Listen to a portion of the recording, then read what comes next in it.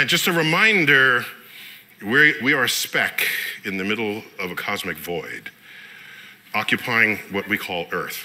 But in fact, if you come upon our solar system from outside, you know, uh, from if you're an alien first coming upon our solar system, Earth would be barely noticed by you. You'll notice Saturn, you'll notice Jupiter, and you'll say, "What are these? What are these these these these balls of rock orbiting closer to the sun?" If you drive at 70 miles per hour, it would take you 15 days to circle the Earth's equator, 5 months to reach the moon, and a whopping 63 years to get to Mars. But that's just the beginning. To reach Neptune, it would require an astonishing 4,400 years of continuous driving. Our solar system alone is mind-blowingly vast. In 1977, we launched Voyager 1, a probe zooming through space at a staggering speed of 38,000 miles per hour. Yet it took a staggering 35 years to exit our solar system. Even light which can circle the Earth seven times in just one second, feels slow in comparison to the sheer size of our solar system. Even though our solar system is undeniably massive, it's nothing compared to the awe-inspiring expanse of the Milky Way galaxy. Just when you think the Milky Way galaxy is the ultimate spectacle, we present you with an even grander vista. The universe itself.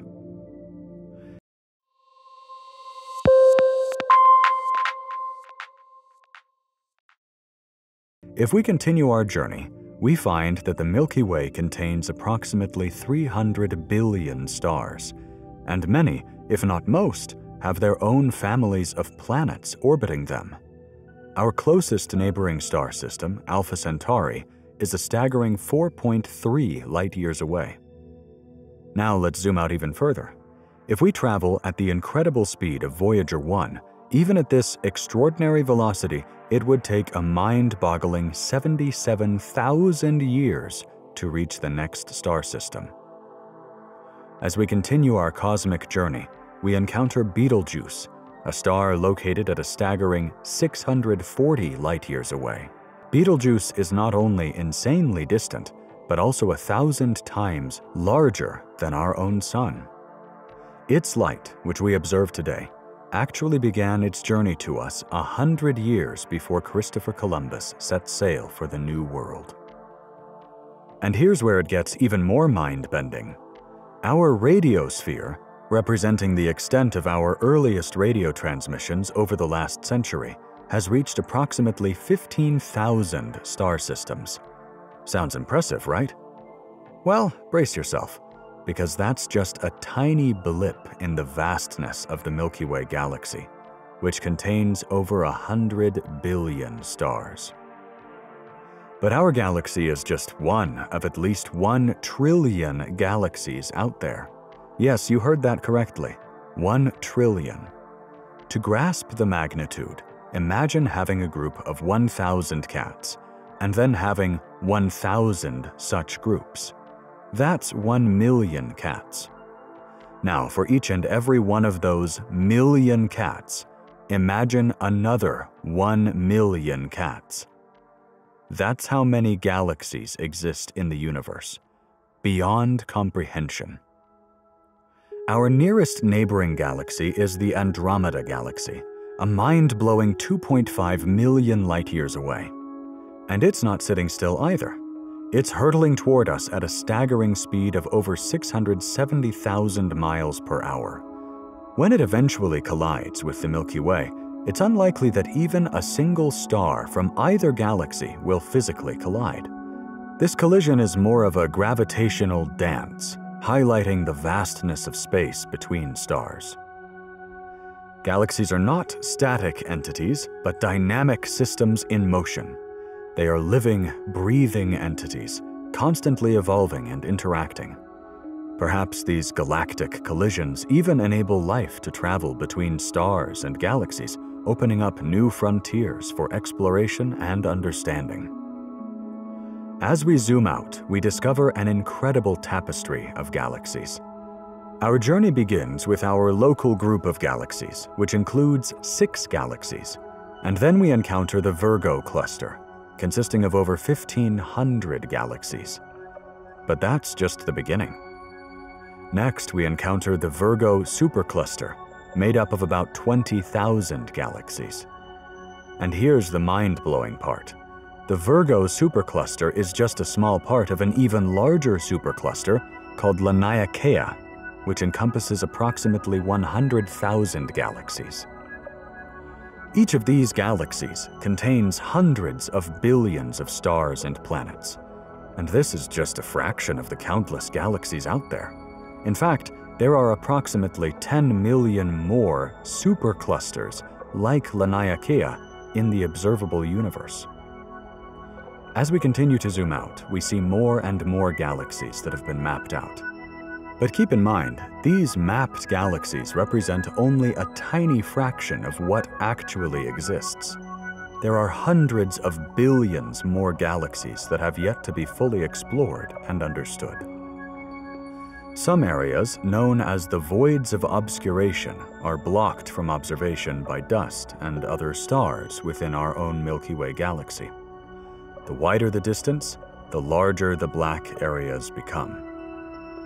The light from these galaxies has taken so long to travel to Earth that we are actually seeing them as they were billions of years ago in their infancy. Every time we look at the stars, we are peering into the past. And then there's the cosmic background radiation, the oldest light we can detect, which is the residual heat left over from the Big Bang itself. Beyond the observable universe, there are likely many more galaxies that exist but are beyond our reach. The light emitted from these distant galaxies hasn't had enough time to reach us, and due to the expansion of space, their light may never reach us. So, how much further does the universe extend? Based on our current understanding of physics, the entire universe is at least 250 times larger than the observable universe. Some theories even suggest that it could be infinite. Now, as we contemplate our place in this vast and mysterious universe, two thoughts may come to mind. One is the feeling of being a tiny, separate being on a distant planet, living a short life before fading away. The other is the realization that we are part of something unimaginably large and potentially infinite, a universe teeming with life and boundless possibilities. We must challenge the outdated belief that we are separate from the universe. In truth, we are intimately connected to the world around us. We are not isolated objects, but rather integral parts of the whole. Whether through a spiritual or scientific lens, we are all made of the same fundamental particles, connected by the unified fields of energy that permeate reality. As Carl Sagan beautifully stated, the cosmos is within us. We are made of star stuff. We are a way for the universe to know itself, and we are part of something greater than ourselves. At this point, we have to reconsider one of the key assumptions we often overlook the narrow definition of life. We tend to draw a clear line between living and non living, but this division is merely a concept in our minds. That's why there's so much debate about what qualifies as alive. For instance, some argue that viruses are alive, while others disagree. The boundary between living and non living is constantly shifting and expanding. We used to think only humans were intelligent beings, but then we expanded our understanding to include animals, insects, plants, and even cells. Now, we're questioning the status of viruses, bacteria, endospores, and DNA. Can they be considered alive? The lack of consensus on what defines life stems from the absence of a clear demarcation between the living and non living realms.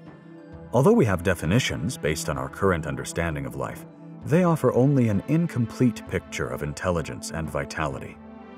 What if life is more inherent and fundamental to the universe than we assume?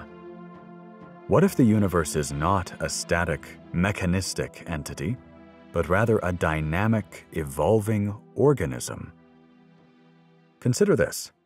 The universe behaves more like an organism than a clockwork machine. I'm not stating that the universe is itself an organism, but rather highlighting the parallels in behavior. Could it be that the universe possesses a form of intelligence, awareness, or consciousness that is different from our own? Is it possible that the universe is alive in ways we cannot comprehend from our limited perspective, much like how a cell in our body is unaware that it is part of a larger, complex being? This notion aligns with the idea that we are not separate from the universe.